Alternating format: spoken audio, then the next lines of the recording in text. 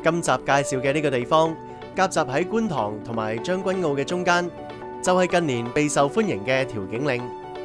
调景岭曾经系香港嘅寮屋区域，现时调景岭经过改建之后，成为咗青山绿水嘅一个完美居住地。作为将军澳嘅桥头堡，调景岭系观塘区连接将军澳中间嘅一个必经交汇点。由于呢一区独特嘅定位，令到唔少喺观塘、九龙湾翻工嘅朋友会选择喺调景岭定居。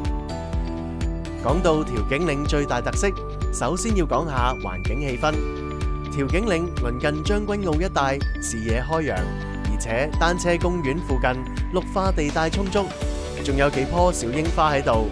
春天时节，樱花盛开，仲吸引到唔少居民喺附近野餐、赏花、打卡添。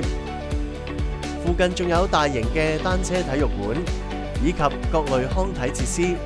为居民提供充足嘅运动、消闲、娱乐，相当写意人生。而调景岭沿海一带嘅海滨步道，宁静而优美，无敌海景更加系唔少运动人士嘅打卡位。未来将会兴建一个中央大道公园，将四周凝聚成一个充满活力嘅地带。除咗运动方面，调景岭系一个文化气息浓厚嘅地方。最为人所认知嘅就系香港之尊设计学院，唔少优秀嘅设计人才都喺呢度翻学进修，亦都间接令附近遍布各式各种嘅文艺设计。最后讲埋生活方面，现时调景岭有都会站、维景湾畔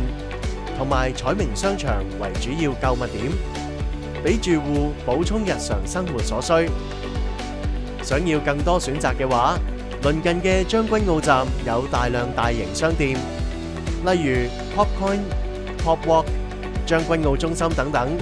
吃喝玩乐一应俱全。调景岭以港铁站为主要交通工具，配合多条往返将军澳、观塘、新界以及港岛嘅巴士线，无论港九新界去边都咁方便。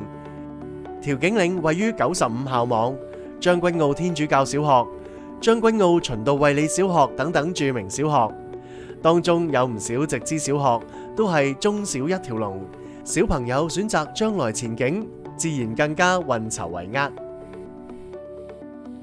今集介绍系咁多，想知多啲就记得联络美联物业啦。